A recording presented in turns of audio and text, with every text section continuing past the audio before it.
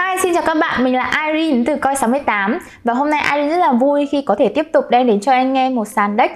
Hứa hẹn sẽ đem lại làn gió mới cho hệ sinh thái Solana như các anh em đã skin in the game ở trong giới DeFi thì đều biết là thường các cái sàn phi tập trung hay là các cái sàn DEX sẽ là một cánh cửa dẫn đến các cái hệ sinh thái DeFi trong một cái blockchain. Và đối với hệ sinh thái Solana thì ngoài những cái sàn đã nổi tiếng như là Radium hay là Serum thì mọi người cũng tin tưởng sàn Oka như là một cái giải pháp uh, cung cấp thanh khoản tập trung tương tự như là Uniswap V3. Và hôm nay hãy cùng Irene đi tìm hiểu thông tin về sàn này để xem sàn này có những tính năng nổi trội gì và chúng ta có nên đầu tư và sử dụng sàn này hay không nhé.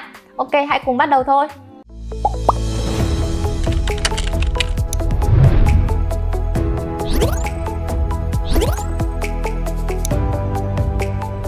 Đầu tiên hãy cùng đi tìm hiểu dự án Oka là gì nhé. Dự án sàn giao dịch phi tập trung Oka là một trong những sàn giao dịch AMM nổi bật được phát triển trên nền tảng blockchain Solana. Không chỉ vậy, dự án Oka sử dụng cơ chế Fair Price Indicator cung cấp cho người dùng một nơi giao dịch trao đổi token rẻ hơn và nhanh chóng hơn bất kỳ sàn DEX nào trên Ethereum. Bên cạnh những tính năng cơ bản của sàn DEX như là swap token, add liquidity pool thì dự án Oka còn đặc biệt quan tâm đến trải nghiệm của người dùng và đồng thời hỗ trợ các native tokens và các stablecoin khác trên hệ sinh thái của Solana.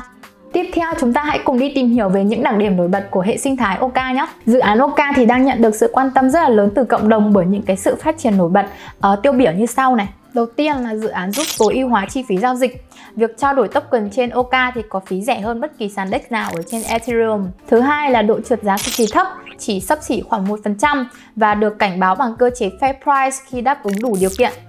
Thứ ba là ok cho phép cung cấp thanh khoản cho sàn để nhận được phí giao dịch. Cuối cùng thì đây là một MMM DEX nổi bật và chủ lực trên hệ sinh thái của Solana. Tiếp theo chúng ta hãy đi tìm hiểu về Whirlpool, cơ chế thanh khoản tập trung. Không giống như cơ chế Liquidity Pool ở các cái MMM tiêu chuẩn khác thì với cơ chế Whirlpool thì các uh, Liquidity Provider sẽ phải cung cấp thanh khoản và tranh giành trading fee tức là các cái phí giao dịch và token emission thì sẽ được cung cấp cho các nhà cung cấp thanh khoản dựa trên thông số cũng như khoản tiền mà họ nạp vào. Ngoài ra là với cấu trúc concentrate liquidity và leverage thì người dùng có thể thắt chặt vùng giá price range ở xung quanh giá token hiện tại và sẽ nhận được một phần phí cũng như là ưu đãi cao hơn. Ở Wirepool thì người dùng cũng sẽ nhận được NFT thay vì LP token như các cái MMM pool cơ bản NFT này thì sẽ đại diện cho LP token và đồng thời sẽ có thể giao dịch trên thị trường thứ cấp.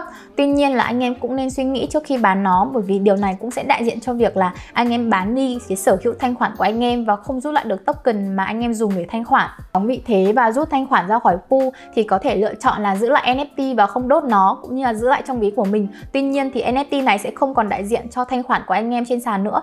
Khi tham gia vào Wirepool thì anh em cũng có thể lựa chọn giới hạn trên và giới hạn dưới cho tính thanh khoản của mình. Kế đến là chương trình Wirepool Builder Program. Chương trình Wirepool Builder Program thì là chương trình mà Oka cam kết là sẽ phát triển hệ sinh thái DeFi của họ. Họ sẽ reward lại một phần thưởng cho các cái nhà builder trong hệ sinh thái giúp phát triển các cái uh, công cụ cũng như là uh, nền tảng trong hệ sinh thái của họ. Các dự án được builder gửi đến chương trình Wirepool Builder Program thì cần đáp ứng được những tiêu chí sau. Đầu tiên là cho phép nhiều người dùng hơn để cung cấp tính thanh khoản tập trung thông qua Whirlpool và thứ hai là cải thiện lợi suất cho LP và tăng tỷ lệ swap thông qua việc triển khai vốn hóa hiệu quả. Về giải thưởng thì chương trình này sẽ trao tặng từ 4.000 cho đến 20.000 OK cho mỗi dự án. Ngoài ra thì cũng có một số giải thưởng lên đến hơn 200.000 OK thì sẽ được dự án trao tặng cho những cái đội builder có những sản phẩm mang tính vượt trội và thúc đẩy sự phát triển nhanh của hệ sinh thái. Tiếp theo, hãy cùng Irene tìm hiểu cách sử dụng OK để tối ưu hóa lợi nhuận nhé. Để có thể sử dụng hết các cái tính năng của sàn OK thì các bạn nên sử dụng một trong hai ví. Thứ nhất là Phantom và thứ hai là Sloop. Sau khi sở hữu ví rồi thì các bạn có thể tương tác với dự án OK thông qua một số các cái hình thức như là swap này, ờ, uh, pools hay là wire pools. Đầu tiên thì mình sẽ hướng dẫn các bạn cơ chế swap. Đây là một cơ chế thuộc cách vận hành MMM nhưng mà đã được dự án OK tích hợp thêm cái cơ chế Fair Price dùng để ổn định giá token và để cảnh báo người dùng khi mà giá token hiển thị chênh lệch quá lớn so với giá ở trên CoinGecko. Để sử dụng tính năng này thì bạn sẽ cần truy cập vào trang chủ của dự án OK, mình sẽ để link ở phía bên dưới. Đây là giao diện cơ bản của chức năng swap ở trên dự án OK. Đầu tiên thì bạn cần kết nối ví Phantom hay là Sloop mà bạn đã tạo ở vị trí thứ nhất. Tiếp theo thì bạn chuyển vào giao diện swap của dự án OK tại vị trí thứ hai. Vị trí thứ ba thì là Magic Bar, nơi mà bạn có thể nhập chi tiết lệnh giao dịch và đưa các cái token cần thiết mà không cần phải làm thủ công như là các cái sàn deck khác. Và Magic Bar này thì sẽ giống như là cái search bar giúp bạn có thể tránh được những cái token giả mạo.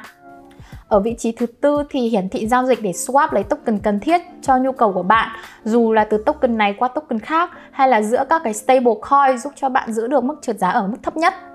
Vị trí thứ năm thì hiển thị số lượng token trên Solana và đồng thời thì thể hiện cái số lượng uh, token mà bạn đang nắm giữ ở trong ví. Kế đến là cách cung cấp và rút thanh khoản trong pool thông thường.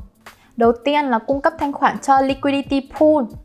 Có một lưu ý nhỏ là do cái khả năng mất tiền khá lớn ở trong thị trường crypto cho nên là anh em hãy đảm bảo lợi nhuận dương của mình trước nhé. Thứ hai là khi cung cấp thanh khoản cho uh, liquidity pool thì bạn sẽ không thể chuyển token LP hay là NFT của bạn và rút tiền từ tài khoản khác được cho nên là các bạn cũng hãy lưu ý vấn đề này.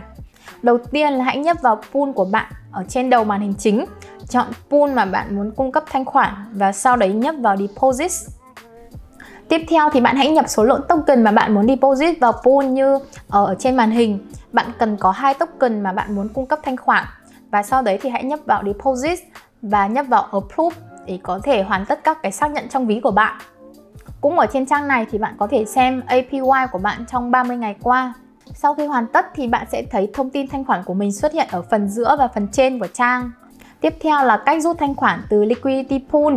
Nếu các bạn muốn rút token từ pool thì các bạn hãy nhấp vào nút withdraw như ở trên màn hình này. Sau đấy thì chọn số tiền mà bạn cần rút, bấm withdraw, sau đấy bấm approve để có thể xác nhận giao dịch trong ví. Đồng thời thì bạn cũng có thể xem được tổng số token mà bạn đã nhận được sau khi rút tiền, bao gồm cả LP token mà bạn đã cung cấp cũng như là token reward. Tiếp theo là cách khai thác thanh khoản ở trên Wirepool.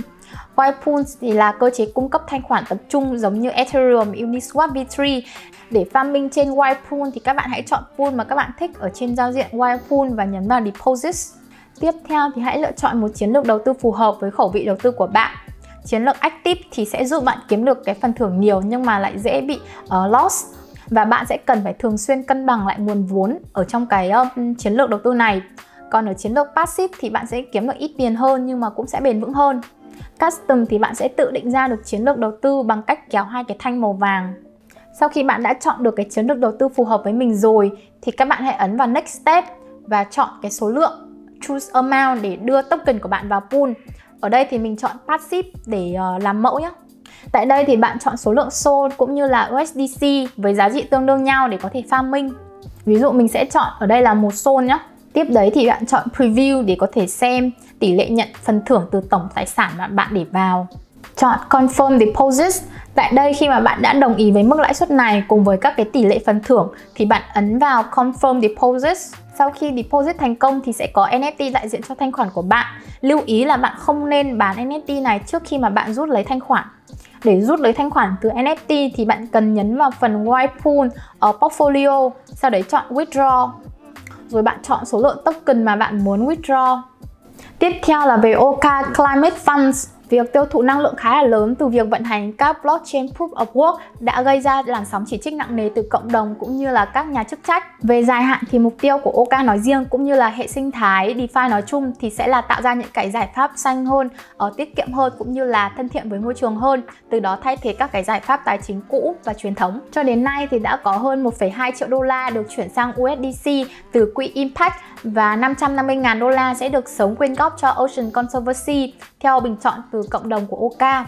Phần còn lại của quỹ thì hiện tại đang ở mức là 677.000 đô. Việc chuyển đổi tự động của quỹ sang stablecoin cũng đang được tiến hành để đảm bảo cái sự ổn định của quỹ thông qua các cái điều kiện biến động của thị trường.